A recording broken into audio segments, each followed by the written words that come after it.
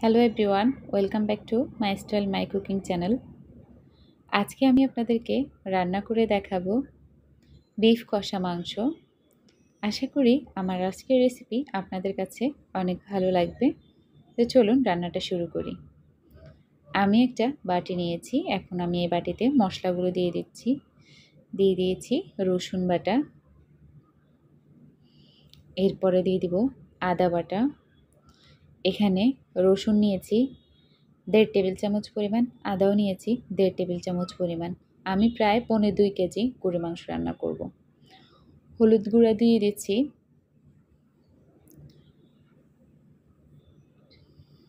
এক চা চামচ পরিমাণ মরিচ গুঁড়া, এক চা চামচ পরিমাণ। আমার এই হলুদ এবং মরিচ গুঁড়াগুলোতে কালারটা ভালো আসে আর মরিচ গুঁড়াগুলোতে খুব ঝাল, তো এই কারণে আমি একটু কম দিয়েছি। দিয়ে দিচ্ছি জিরা, ধনিয়া এবং গোলমরিচ গুঁড়া।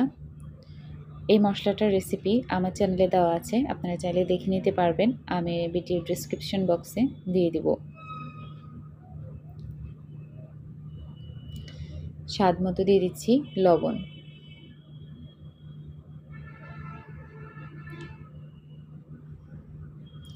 এরপর এখানে আমি টক দই নিয়েছি, প্রায় হাফ কাপ পরিমাণ। টক দইটা আমার ডিপ ফ্রিজে রাখা ছিল। আমি যখন মশলাটাকে মাখিয়ে রাখব, তখন টক দইটা গলে যাবে। দিয়ে দিচ্ছি সরিষার তেল, দেড় টেবিল চামচ পরিমাণ। এই রান্নাতে অবশ্যই সরিষার তেল ব্যবহার করতে হবে। মাংসগুলো ধুয়ে নিয়েছি, পানিটাও ঝরিয়ে নিয়েছি। এখন এখানে আমি মশলা সবগুলো দিয়ে ম্যারিনেট করে রেখে দিব প্রায় এক ঘণ্টার মতো। এতে করে মাংসের ভিতরে মশলাটা খুব ভালোভাবে ঢুকবে।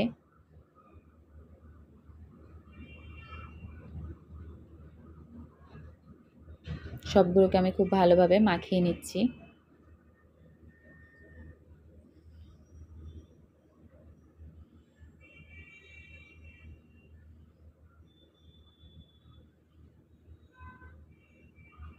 আমার আজকের এই রেসিপি যদি আপনাদের কাছে ভালো লেগে থাকে, তাহলে প্লিজ আমার চ্যানেলটি সাবস্ক্রাইব করবেন।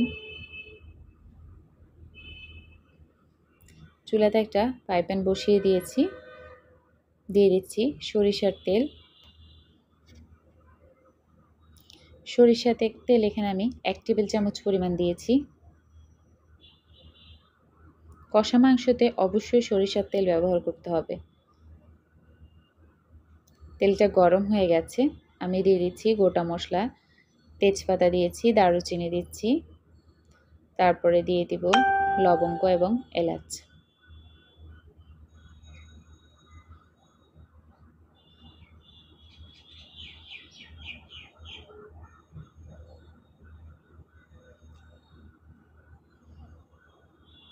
এভাবে গরম মশলা তেলের মধ্যে দিলে সুন্দর একটা ফ্লেভার বের হয়।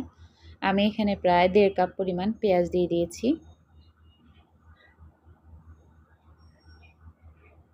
পেঁয়াজগুলোকে আমি ব্রাউন করে ভেজে নিব।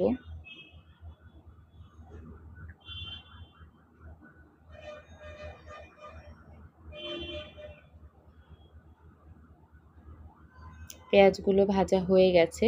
দেখুন, সুন্দর একটা কালার এসেছে।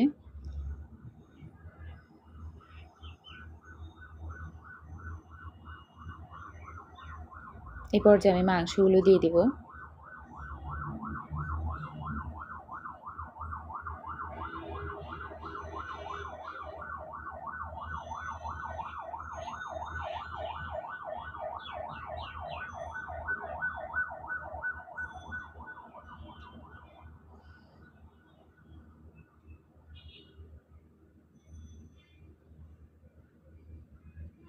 পাতিলটার মধ্যে অল্প একটু পানি দিয়ে, পাতিলটাকে একটু ধুয়ে দিয়ে দিয়েছি, যেহেতু পাতিলের মধ্যে অনেকগুলো মশলা লেগেছিল।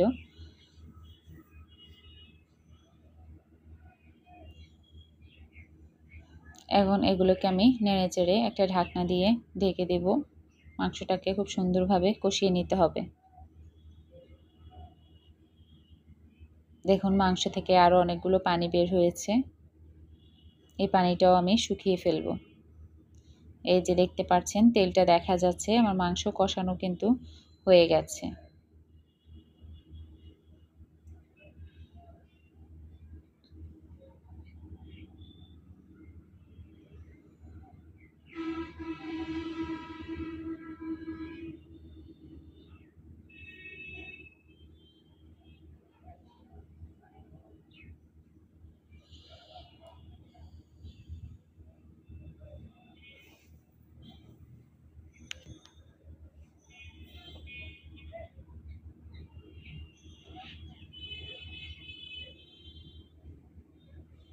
মাংসটা সেদ্ধ হওয়ার জন্য আমি এখানে গরম পানি দিব।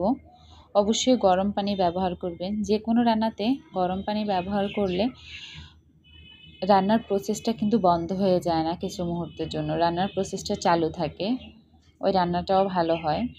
আর যদি আপনি ঠান্ডা পানি ব্যবহার করেন, তাহলে কিন্তু রান্নার প্রসেসটা বন্ধ হয়ে যায় কিছুক্ষণের জন্য। এখন আমি এই মাংসটাকে খুব ভালোভাবে সিদ্ধ করে নেব।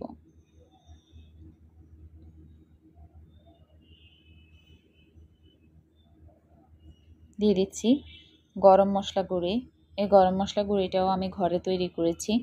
গরম মশলা গুঁড়িরও ভিডিওর ডিসক্রিপশন বক্সে আমি লিঙ্কটা দিয়ে দিব, আমার চ্যানেলে আছে। আপনারা চাইলে দেখে নিতে পারবেন।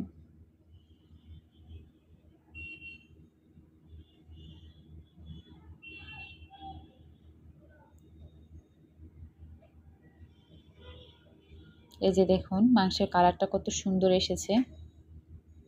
আমার মাংসটা কিন্তু হয়ে গেছে। এখন আমি আর দশটা গোটা কাঁচামরিচ দিয়ে দিচ্ছি। এটাতে করে মাংসের স্বাদ এবং গন্ধ দুটোর মধ্যেই একটু পরিবর্তন আসবে আর খুব ভালো লাগবে। তো আমি চুলাটা বন্ধ করে দিয়েছি। পরিবেশন করে দেখাচ্ছি আপনাদেরকে কেমন হয়েছে। আমি তো আপনাদেরকে খাইয়ে বোঝাতে পারতেছি না, তবে অবশ্যই আপনারা চেষ্টা করবেন আমার রেসিপি অনুযায়ী একবার হলেও রান্না করতে। কেমন হয়েছে আমাকে কমেন্ট বক্সে জানাবেন। আল্লাহ হাফেজ।